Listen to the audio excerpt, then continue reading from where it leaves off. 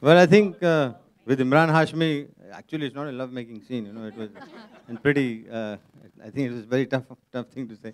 But anyways, with uh, Emraan Hashmi, you with Emraan Hashmi, you expect that. You know, if you if you go there and if you, Emraan Hashmi is not doing that, I mean, you will come out very disappointed. Hi, Ekta. Don't you reckon?